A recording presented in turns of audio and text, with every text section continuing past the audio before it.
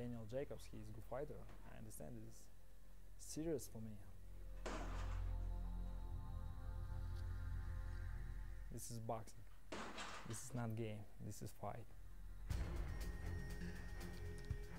Good evening, boxing fans. Welcome to another episode of Boxing Rampage, episode 17. Still a minor. uh, Still on double digits. yes, I am your host, JC, accompanied by. Flacco right here. How's And every- we're everything? going to bring you another great episode today. Today's topics will include the Triple G and Danny Jacobs fight coming up this weekend. We'll also include the undercards in there and obviously the fights that uh, Your just- fight. just passed this weekend with Andrade and um, Culcay. But um, Yeah, it's a crazy fight, man. What can I say? Um, it was a split decision for uh, Andrade. Andrade. Is now the WBA regular champion. Uh, Erislandy Lara being the WBA super champion. And uh, now Ad- Andrade is a mandatory for Lara, basically.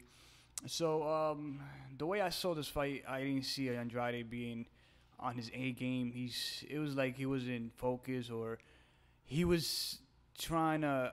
I'm not sure if he was trying to get KO or, or he was trying to just make sure he will win the fight convincingly and not try to um, get caught by a punch. I, I honestly I don't understand what was going through his head, but it was it isn't it was not the actual Andrade that um, we are used to seeing on a, in his previous fight. This this fight, you might think that would give you more of an idea who he is. Now it gave us more doubts. Now we are thinking, can he really beat the number one uh, 144 pounder junior uh, junior middleweight um, uh, champ? But honestly, I don't know right now. Now he le- he just left questions in my in, in my head. So he didn't he didn't look that uh, great that he like he usually does. Um, he got the decision, you know, split decision. One of the judges had it for Koke, and um, basically he was either trying to make sure like uh, fight like um, Thurman did in his last fight, make sure he will win the rounds and uh, do enough just to win the rounds, or he was just trying to KO Koke to make sure he'll get the victory via KO, and the KO didn't come. It was either one of those things, but like I said, he didn't look sharp at all. It could have been jet lag, you know. The fight was in the UK, but um, uh, I was a little bit disappointed, but I not as much of disappointment uh, with the um, Yu- Yoski Gamboa fight. What's going on, HBO Golden Boy with, with your boy over here, uh, Gamboa, my man. This guy put me to sleep. He knocks me out. This guy was boring. Like he was, he was not trying to engage. I don't know what's going on with Gamboa. I mean, Gamboa had never been like that explosive fighter. I mean, at the beginning maybe yeah, but um, I don't know, man. Uh, it was just bad. People was booing. Um, I don't know, man. I, I don't know what. G- G- well, yeah, Gamboa should have just throw more punches, be more active, put himself first. And even when he tried in the last round, he got dropped. Um, Rene Alvarado catch him with, a flash knockdown on the, on the 12th. But it was a real boring fight. Uh, Gamboa got the unanimous decision. But um, I don't know. For me, Gamboa haven't looked that impressive for like three years now, maybe almost four. I felt like the Darleys Perez uh, uh, fight, he was um, he was gifted. I actually felt that Perez did enough to win that fight. But um, yeah, I, I don't know. I, I think maybe the Salido fight was like the best fight for Gamboa, and then after that, what's next for him? Maybe put him against High Tech Lomachenko. Uh, that's the only idea that Golden uh, I could think right now. Probably Golden Boy sign him to, to feed him to uh, Lomachenko.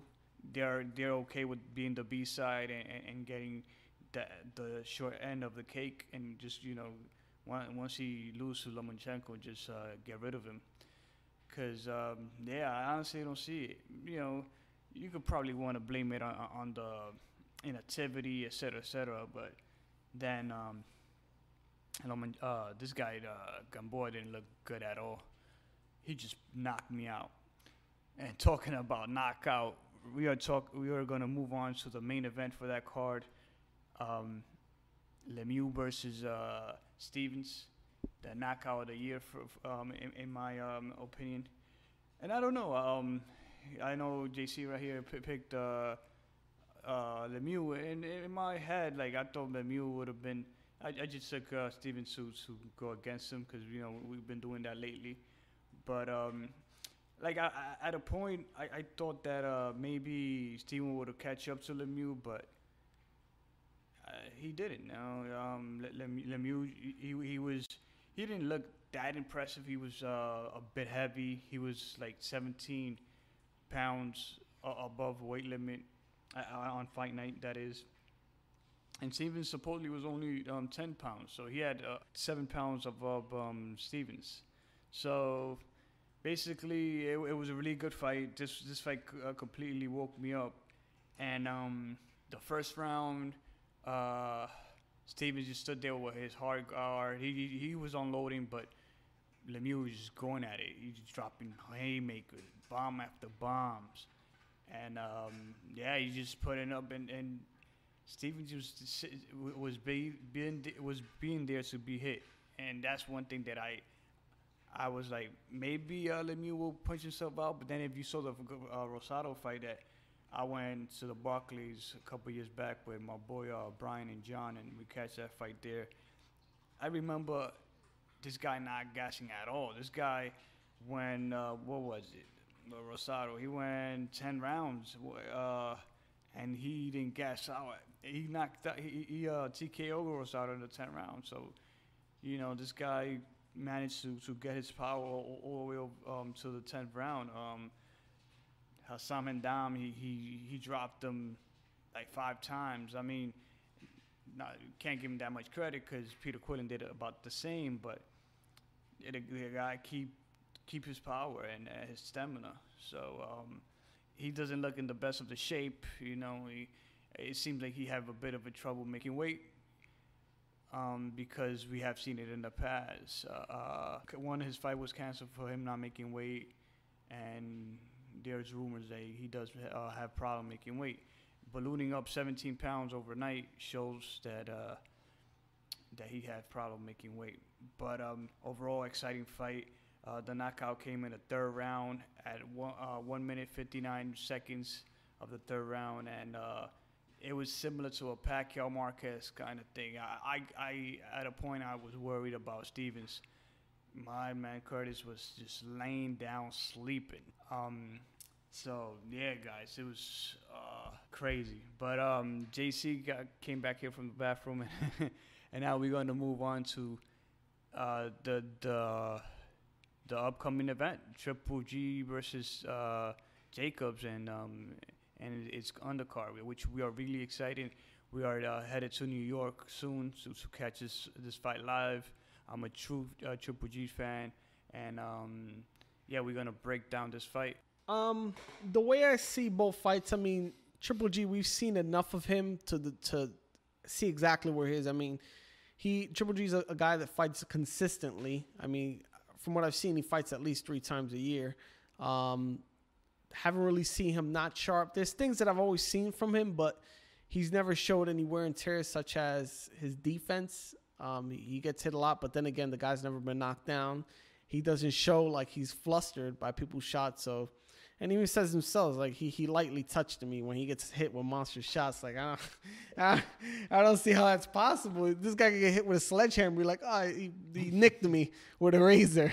it's like okay, but um, Triple G, there's based on the eye test, there's nothing looks off with him. The only thing I would see is that the defense uh, could be better, but he cuts off the ring. He has monstrous power.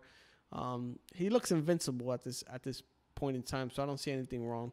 Um, with the fight this weekend, I mean, he's fought people like him, but uh, uh, like Danny Jacobs, but Danny Jacobs presents something else. I think what'll come out is that Danny Jacobs is the more complete fighter, the more complete boxer. I mean, um, I wouldn't take it lightly, that's for sure. I don't think he's fighting a, a common opponent. I mean, Danny Jacobs has power, has speed, has footwork, works angles.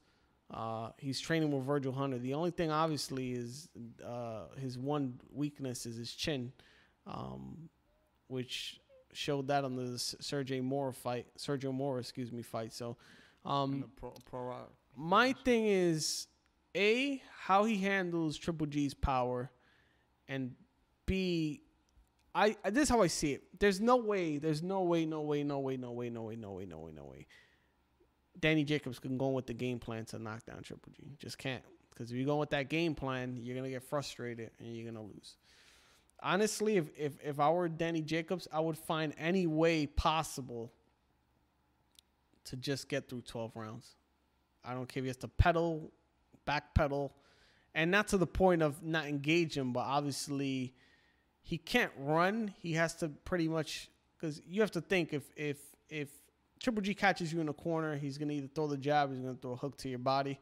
He has to find a way to pretty much move around that, and that's that's harder. It's harder to say than to actually do because many people have tried to do that, but they haven't been successful.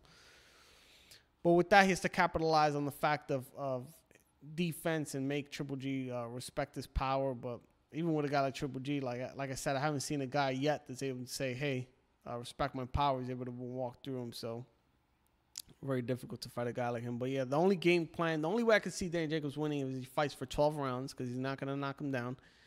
And he finds a way even to say, I, I got to the 12th round, and I don't know how that would look. I mean, what I am seeing more and more from people that fight him, the Triple D, is that when he first started his KO streak, fighters wouldn't even make it to the fourth round. Now I'm seeing fighters make it to the fifth, sixth, even with like a guy like like um uh uh uh geez, I was scared. I Kell see his Brook? face, Kell Brook.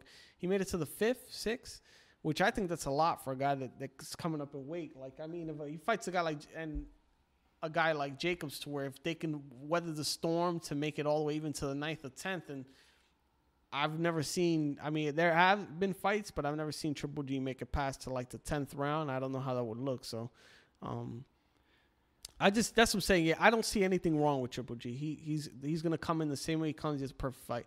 The real question here is how will Danny Jacobs perform? How do how do you see that then? Well, for me, this is a fight um, that we either Triple G is gonna be exposed, and which a lot of people believe that you know Triple G is not who who we think he is, and, or Triple G is gonna show that he is what we think he is. He's a, a top of the line boxer. He's an elite boxer. Um, so ba- basically, uh, if we like we think about Triple G, and a lot of people said that oh he he let himself hit hit. Uh, I'm sorry, he let his opponent hit him so he he could make the the fight more uh, interesting, in which I, I do not agree with. I, I think that he just opened himself up so he could counter. And I seen it. If you seen like the uh, Martin Murray fight, which was uh, That was that was probably the toughest fight he had. yeah, because that, that Yeah. fight was uh, Martin That Murray was, was- big. Was what And, seven, um, eight rounds or Yeah, something a, like a that. guy that never been down. he was Um, way bigger than him too. Yeah, it, it went, it actually went to 11 round. So um, uh, it, I remember that uh, that Murray was against the rope. A lot of holding in that fight. Yeah, he was against the rope, and just I saw Triple G just put his defense down, and uh, Murray just started thr uh, landing shots, and then that's when he came up with that hook and and hurt him at that point. But uh, basically, I, I just believe that he's w- once he gets into a, a, a, a spot where he's un- uncomfortable, because he he, he got to get into a position, just like Danny Garcia gets into a position to to, to land those heavy punches. Because these guys that throw these bombs, they don't they don't just generate them in, from the air. They they got to The hips. yeah, they gotta set set themselves in a certain position where they could generate this power. So if he's not he's not in that position where he could generate that power to hurt you, what he does is he's open up so you could start hitting him, and he only does it when he could take your power. Um, so he he puts himself in that position, and basically Yeah, but this this guy's that's the thing. That's what I'm trying to see how he takes it. Like I know that, Well, that uh, wi- wi- Danny wi- Jacobs has power, bro. wi- wi- With Jacobs, what I believe he's gonna do is he's gonna take the same approach that he did with Lemieux. He's gonna come in and just jab his, his heart off and, and and open up those those spots where where he could hurt uh, um, uh, Jacobs. So basically, the way I see this fight is, um, it could either go in a early knockout for for Triple G, where Triple G just hurt him early and finish him, because Triple G does have the killing instinct. automatically. And and, and, and that's one thing I, I like. I, I know this, this got nothing to do with the fight, but when people talk about Canelo versus Triple G, Canelo doesn't have that killer instinct. Ca- Canelo is, is like guys like um, like uh, uh, I'm sorry, Thurman. That that are guys that once they do enough to win, they just take off rounds and and just do it enough to win. Uh, Triple G's a guy. He's a killer. This guy comes and when he sees that you hurt, he'll keep pounding until they either stop the fight or he he just take you out. And Triple G's not a, a, a one KO knockout guy like probably like Danny Garcia who just comes swinging from from from these crazy angles and catch you with that one punch and, and just lay you down. Triple G's a guy that that'll break break break you. And- Systematically, yeah. Exactly. So, Danny, uh, Danny Jacobs have uh, a history of, of, of of being hurt and being hurt by guys that that doesn't have um, punching power like Mora. So think about a guy who's more technical sound than his, his previous opponents, and now now just uh, put down the line and just put um, power in, in, into those guys. So basically, what I'm trying to say is Moore was able to catch him with that punch because Moore is, is a slick fighter. He's like a, a, a Herrera. He's, he's a real slick fighter and is able to like land these these awkward He punches. kind of reminds me of uh, Martirosyan. Exactly. type. Uh, yeah. And, and, and that's a, a great example. They, they, they are awkward fighters, and they will ca- catch you with these awkward punches, and just easily could, could catch you. Uh, Yeah, uh, it's just an angle. It's a bad uh, angle. Yeah, caught him at. exactly. It, it, it's Not like conventional. Not yeah, conventional. exactly. Like like if you say like the, the Porter versus Broner fight, well, yeah. Broner just came in and, and catch Porter with his punch, and it's not a punch that really hurts you, but think about Surprise. You weren't prepared for it. Exactly. Think about Triple G hitting Jacobs with, with a punch like that. You put him to sleep. Um, so for me, this fight either is gonna be an early knockout, probably like on, on the I think first, six, seven. first or second round, or it, it- like you said, it, it could go either to the eighth round. yeah. If he, that's what I'm saying. If he finds a way, fast- that's what I'm saying. He ha- he can go in there, Danny Jacobs, and run for 12 rounds because he's he's gonna find a way to attack Yeah, him. he has to he has to, he has he has to engage with him somehow. This this this guy is a guy. Triple G is a guy that could cut the ring like a mother effer. Like this guy could cut the ring. Like he's right now. I don't think the best thing to do if I were Danny Jacobs, I'd find a way to to jab his way, but then if, if possible, try to. I mean, it's really hard, but I wouldn't run. I basically wouldn't run. I try to use as much angles and pivot as much as possible, because you got to think if he's able to pivot on Triple G, and the thing is the range. If Triple G is, is at the range to where you're at the end of his punches, then it's going to be hard to to take that ty- type of power. But if he's able to smother his punches, hold. I'd hold like hell. Jab on the break, just jab again, and then pivot as much as possible and stay. Basically, try to find a way to stay in between his punches. Because if you start running, you're going to be on the outside of his punches, and that's what Triple G has power right at the outside of the range. So. If I were him, I'd stay on the inside and then stay somewhere out of the range of the full brunt of his punches, even to where he has to punch you, grab. It's gonna be a fight. It's gonna. I would even say it'd be an awkward fight to where it's just going to be a lot of grabbing. If, if I were Danny Jacobs, I'd grab till hell. And then obviously later towards the fight, if it's pot, and I don't think Triple G's going to gas out. But if it does, then obviously just his best bet, Jacobs, is basically break his knockout streak by not having him knock him out. But even if he loses, it's going to be, you know.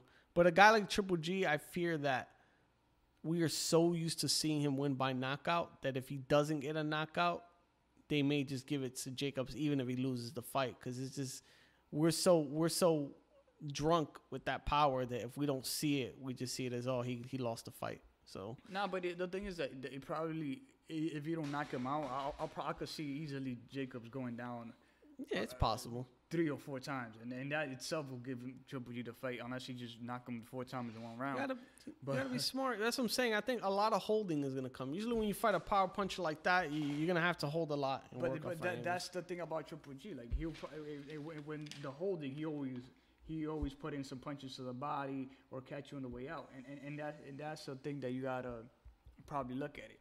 It basically depends on what version of, of Jacobs. If Jacobs comes real like real fast, like he walked into the Peter Quillin fight, I could see him uh, trying to land one- of those wild. that's the punches. wrong idea, bro. one, Yeah. one of those wild punches and, and, and get clipped early.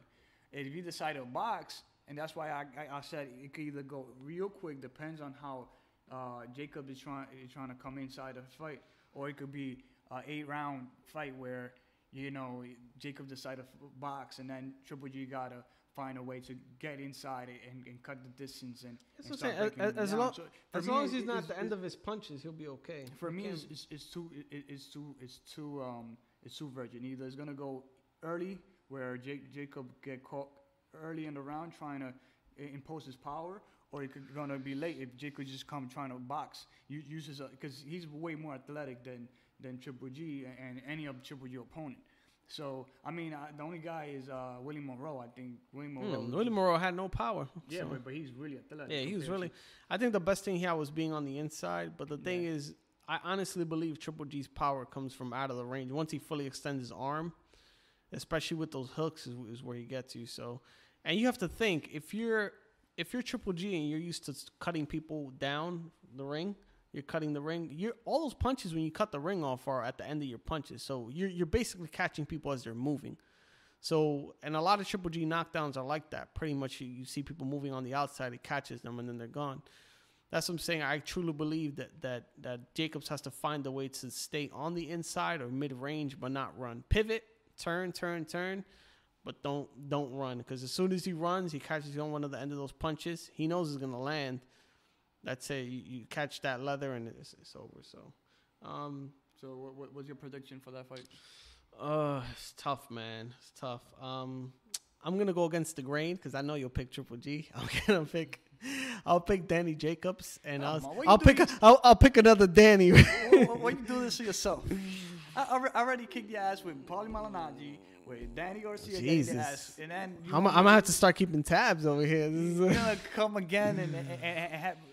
So how you see uh, Danny Jacobs winning this fight? Um, That's I- that's what I'm saying. I'm I'm not saying go either way. I'm just picking to pick outside of it. But yeah, that's pretty much like I said. Decision.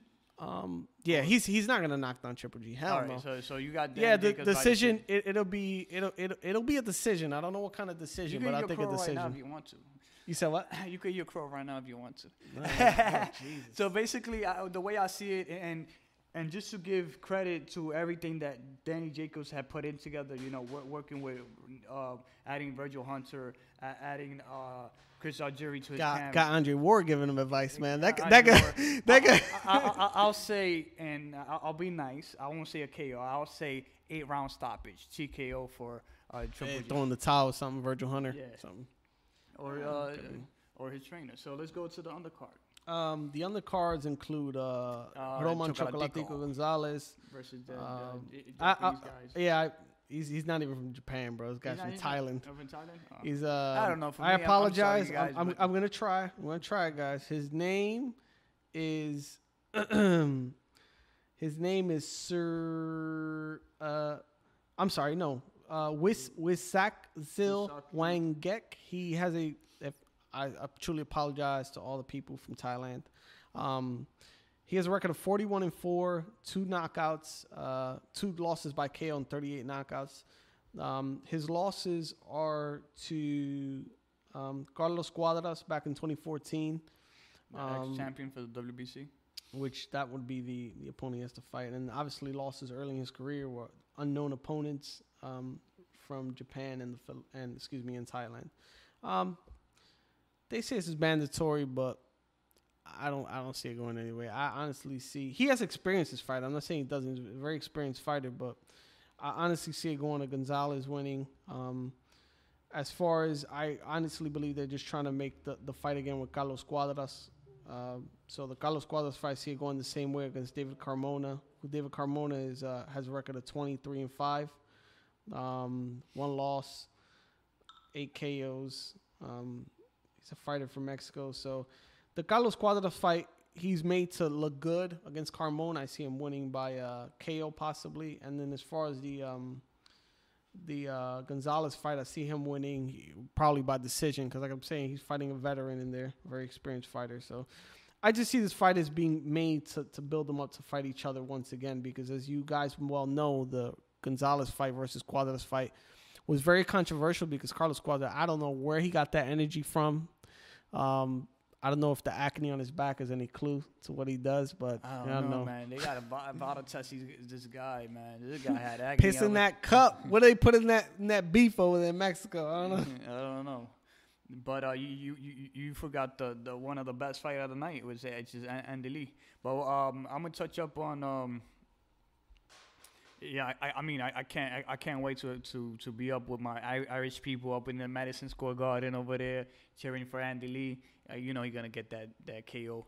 You're gonna come with that eraser. But touch, touch, touching up on on that Cuadras fight, Cuadras I mean uh, and Chocotico, these guys are basically set, setting up and they put they put them on- on the undercard of on purpose so they could uh, do the do the rematch maybe later in May or or sometime in the summer. But basically, the way I see it, I I, think it's gonna be a more more of an easy fight for Cuadras. For Chocotico, this this guy uh, I forgot his name, but um, really hard to mention uh, to pronounce his name. But basically, this is a rugged guy, and I, I, I think that this is a real tough division for Chocotico. I honestly don't know how he's gonna do on the rematch with Cuadras, but I I'll, I'll give Chocotico the decision, and I I will agree with you on Cuadras getting the KO. But um Yeah, I mean the, the the Andy Lee fight is really being set up to make him look good to win, and obviously front of uni- people, unify. San Patty, uh, San Patty. uh, Because weekend. th- this this is how the promoters. This is the promoter mindset. If Triple G beats uh, Danny Jacobs, and obviously the winner would fight Andy Lee, who has a WBO and would be on that undercard to fight Triple G, which would work on and then make uh, Triple G the undisputed middleweight champion, having the WA, WBA, WBC, IBF, and the WBO title. Basically, taking every title. It's a title monopoly, is what Triple G is about to do. If it's if it if he is victorious, and then obviously um uh Andy Lee is victorious as well, which I that's a gimme fight, but we'll see. Um, that's what it looks like so far. Yeah. So um yeah, so basically th- those are showcase all, all, all the all the whole undercards are showcase uh on the card, but you know I got some good names there. You got Cuadras who gave uh, Chocotico, who's considered as most as the- for the pound for pound king basically uh, uh, of this generation, and uh, Cuadras and the undercard just to set up that rematch and basically um uh, Andy Lee to to, to uh, fight for his people for the the Irish the Irishman. Yeah, we so- will we will be there at the Garden um, that Saturday, so we're gonna fly up to New York and have a good time. Probably get wasted, Irish wasted. I don't Yeah, know. I I, I gotta be able to see the fight too. I'm gonna DVR anyway, and then I'm gonna watch it and be like, oh okay. I mean, uh, you're probably gonna get come back for the next weekend, and, and it's probably gonna be free on HBO. So, I mean, we are paying uh, uh, big money for this fight. So why buy the? Yeah, it makes sense. Why? Yeah, it is gonna be HBO. You're right. Why? Why? Why Well, I'm still gonna DVR it. That doesn't make well, sense. yeah, yeah, it makes sense. It, it usually come out next week anyway. So. Yeah. So, um, yeah, thanks, you, thank you guys for being part of the show. Um, we're gonna be in New York for uh, this upcoming weekend. Can't wait. Uh, we're gonna be with our peeps over there, back to to home, back back back home. We're going back to home. If you're in the tri-state area and you want to get our autograph, please let us know. we'll be at the Waldorf Astoria signing signing autographs to the first if five people that show up. nah, nah. But uh, if y'all want to meet us and uh, you know, you know, have a drink, I'll buy you a drink if you come in and, and, and check us out. Just Uh, mention that you're a fan of the podcast. if Yeah, listen to us. Um, y'all can hit up us on IG at Boxing Rampage, and or email. We don't have we don't have T-shirts yet, so we'll just uh, We we'll just hold like a cardboard, like at the airport. we were planning on We're picking that. up Boxing Rampage at the airport. Is like Definitely. So um, yeah, I mean, I'll, I'll definitely buy you a drink if if you contact me and tell me where are you at in the fight, and uh, we'll meet up and whatever. Yeah, man, we uh, will be nice to meet you. Um, yeah, yeah, always listening to to us just babble and, and talk boxing, but um, yeah, it'll be really nice to to, to get to know you. So uh, just hit, hit us up, and um, can't wait to see you at the fight. I don't know. This is Till business, next time. boxing business. out. And I, don't- I don't want to kill him, you know, just destroy him. No, just boxing. Only boxing.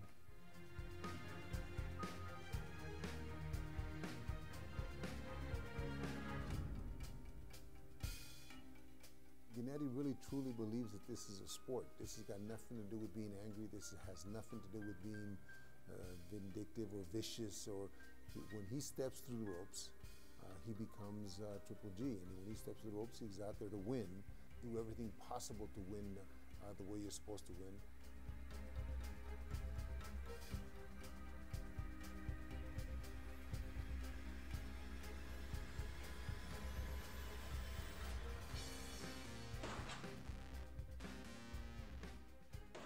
Yes, I think this fight is top fight